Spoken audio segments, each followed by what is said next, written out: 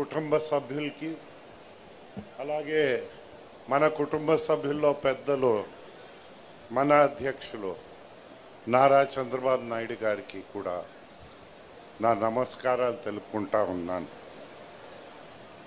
జాతీయ రాజకీయంలో మన తెలుగుదేశం పాత్ర అనేసరికి పెద్దలు నందమూరి తారక రామారావు గారు గుర్తొస్తారు. ఒక ఫెడరల్ స్ట్రక్చర్ కోసం ఆయన కృషి చేశారు. ఎన్ని ఒత్తిడులు వచ్చినా తట్టుకున్నారు.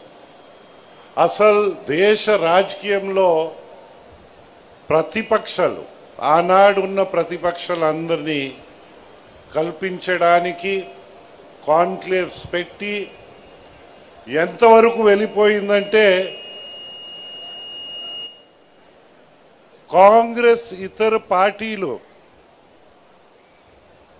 దేశంలో అధికారం రావడానికి ముఖ్య కారకులు అయ్యారు.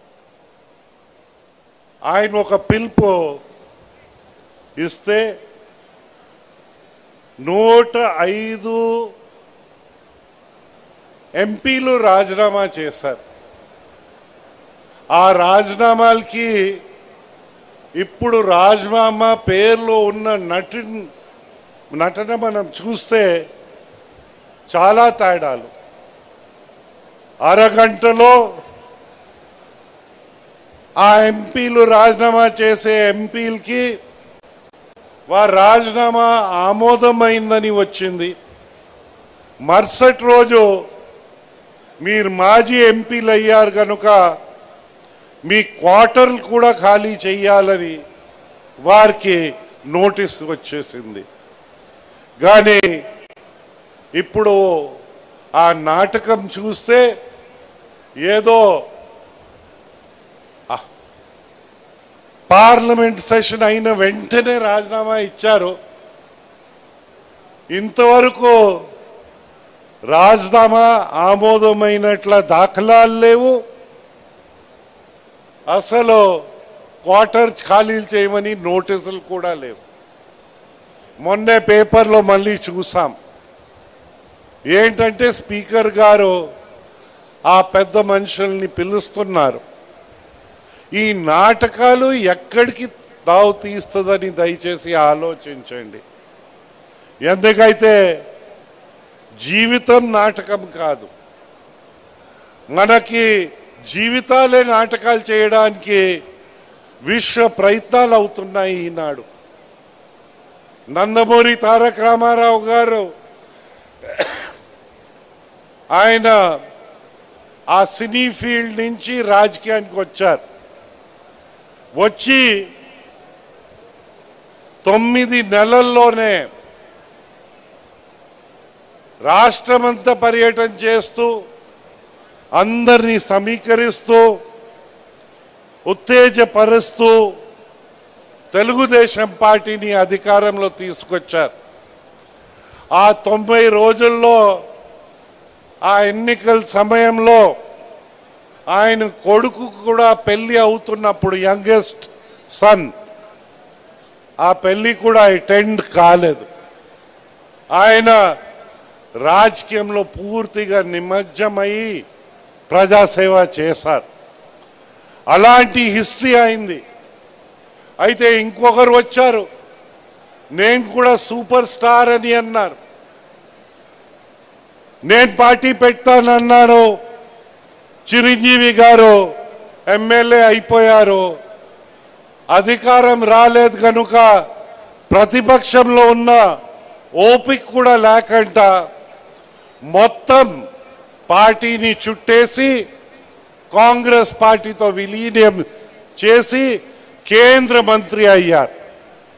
కేంద్ర మంత్రి అయి మన రాష్ట్రంలో ఆనాడు కూడా కేంద్ర మంత్రులు ఉన్నారు. రాష్ట్ర మంత్రులు ఉన్నారు. ఈరోజు అన్యాయం అన్యాయమని కేకలు వేస్తా వెళ్తారో ఆంధ్రప్రదేశ్కి అన్యాయం జరిగింది అని. అసలు అన్యాయం చేసేటప్పుడు పదవుల్ని పట్టుకుని వేలాడుకున్నారు వీరందరూ కానీ ఒక పది నిమిషాల ముందని కూడా రాజీనామా చేయలేదని విషయం మీకు మనం చేస్తూ ఉన్నాను. మనం ఇవన్నీ గుర్తుంచుకోవాలి. అది కన్నా లక్ష్మీనారాయణ కూడా అన్నాడు మంత్రియే. ఏ జిల్లా చూసినా మంత్రులు కనిపిస్తూనే ఉంటారు. వీరందరూ కొందరు ఇప్పుడు జగన్తో చేరిపోయారు.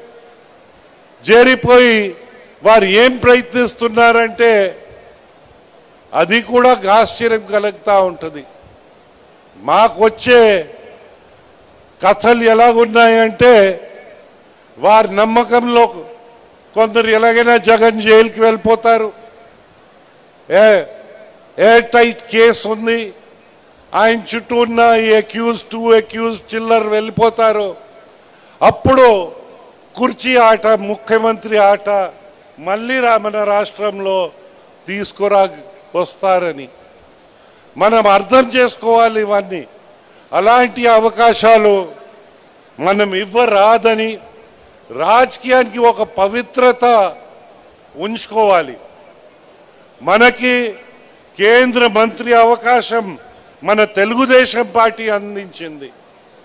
ఆ దాన్ని స్వీకరిస్తూ మన దేశానికి మనం సేవ చేశాం. ఏవియేషన్ సివిల్ ఏవియేషన్కి ప్రపంచంలో ఫాస్టెస్ట్ గ్రోయింగ్ ఏవియేషన్ సెక్టర్కి భారతదేశానికి తెచ్చగలిగాం దీనికి చాలామంది కృషి చేశారు. ముఖ్యమంత్రి గారు చెప్పినట్టు అధికారులు కూడా కృషి చేశారు. అందరు కృషి చేసి టీం వర్క్గా పని చేస్తే ఏదైనా సాధిస్తాము కానీ మనకున్న సమస్యలు ఎలాగున్నాయి? కేంద్ర ప్రభుత్వాలు జాతీయ పార్టీలు అష్యూరెన్సెస్ ఇస్తారు. జాతీయ పార్టీలే దానికి సాక్షి. ప్రకటించింది వారే. కానీ అమలు చేయడానికి ఇష్టపడరు. ఇష్టపడకపోతే మనమందరు కలిసికట్టుగా పోరాడాలి శక్తి తీసుకురావాలి.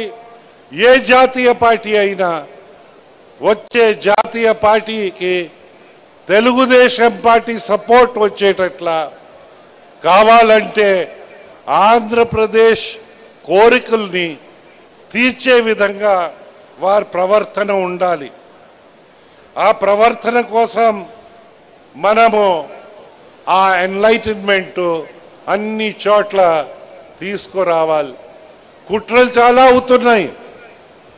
కొందరు అంటారు అగ్రేరియన్ స్టేట్ ఆంధ్రప్రదేశ్ ఆంధ్రప్రదేశ్కి అగ్రేరియన్ స్టేట్లో అన్ని రాష్ట్రాల కంటే ఇండస్ట్రియల్ రాష్ట్రాల కంటే ఫాస్టెస్ట్ గ్రోత్ వచ్చిందంటే ఇది ఎవరి కష్టాలు? ఇక్కడ ఉన్న ప్రజల కష్టాలు ఇక్కడ ఉన్న పాలకుల కష్టాలు ఒకరు ఒకరిని అర్థం చేసుకుని కష్టపడితే పంటలు పండితే ఈ గ్రోత్స్ వచ్చాయి. ఆ పంటలు పండకుండా ఉంచుకోవడానికి కుట్రలు చేయడం న్యాయం కాదని విషయం మీకు నేను మనవి చేస్తా ఉన్నాను. ఇప్పుడు అంటున్నారు ఎందైతే రాజ్యాంగం రచించిన పెద్దలు ఒక ఫెడరల్ కాన్సెప్ట్ తీసుకొచ్చేటప్పుడు ప్రతి ఐదైదు సంవత్సరాలకి ప్రజలు కట్టే పనులు ఎలా డివాల్వ్ కావాలని ఒక ఫినాన్స్ కమిషన్ కూడా మన దేశంలో చేసి పెట్టారు.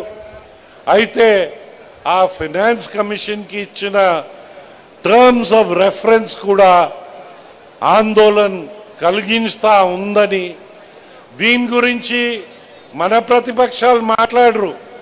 వారికి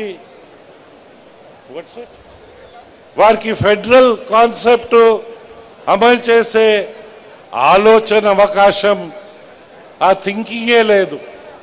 బురద జల్లడమే ఒక కార్యక్రమం పెట్టుకున్నారు.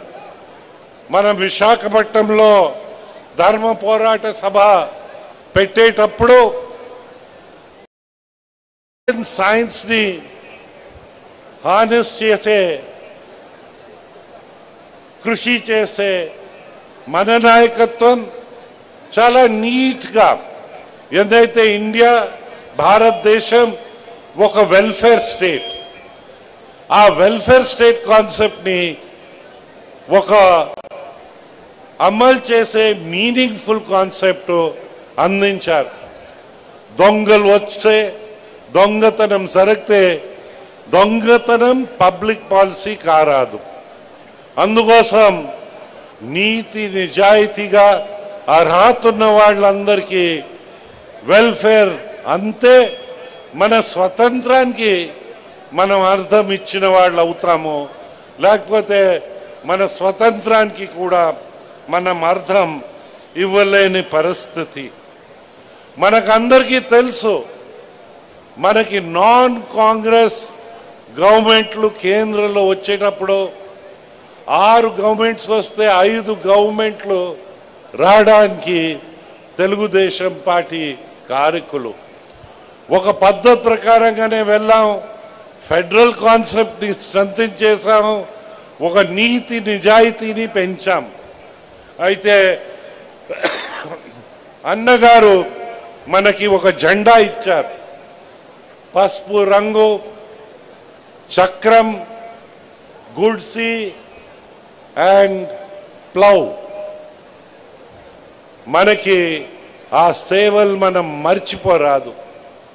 మనకు వేసుకున్న పసుపు చ చొక్క ఒక పవిత్రత ఆ పసుపులో ఉందని ఆ పవిత్రతని కాపాడే బాధ్యత కూడా ప్రతి కార్యకర్త స్వీకరించాలి.